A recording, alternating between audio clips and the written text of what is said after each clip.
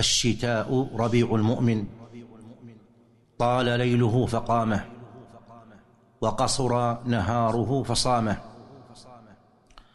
وإنما كان الشتاء ربيع المؤمن لأنه يرتع فيه في بساتين الطاعات والعبادات.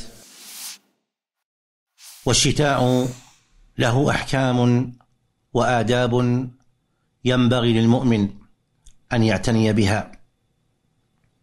فمن ذلك اولا الإكثار من الأعمال الصالحة في هذا الفصل.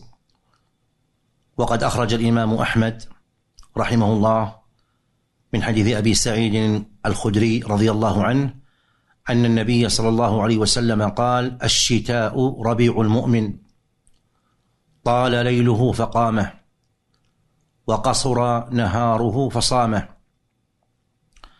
وإنما كان الشتاء ربيع المؤمن لأنه يرتع فيه في بساتين الطاعات والعبادات فإن المؤمن يتمكن في فصل الشتاء من صيام نهاره من غير مشقة نظرا لقصر نهاره فلا يشعر بمشقة الصيام.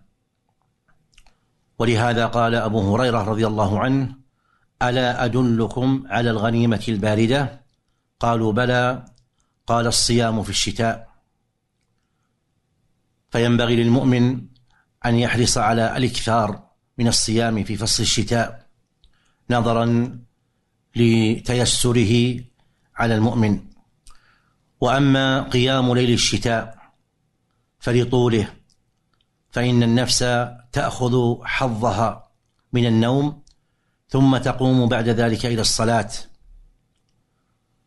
والقيام في فصل الشتاء قد يشق على النفوس من وجهين.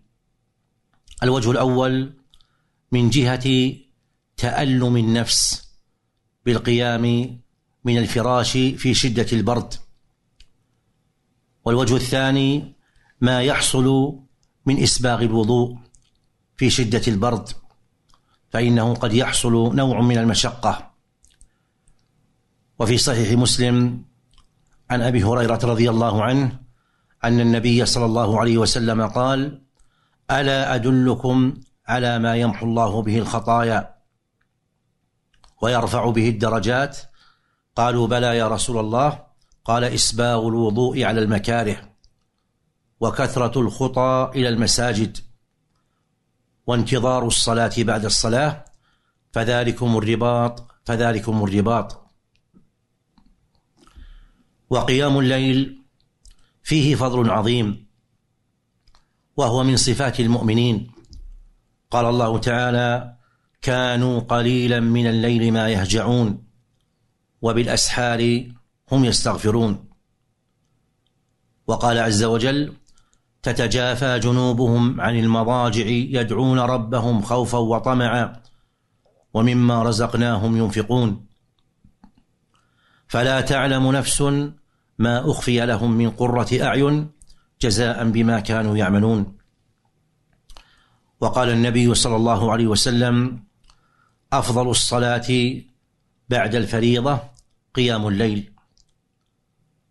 وقال عليه الصلاة والسلام يا أيها الناس أفشوا السلام وأطعموا الطعام وصلوا الأرحام وصلوا بالليل والناس نيام تدخلوا الجنة بسلام.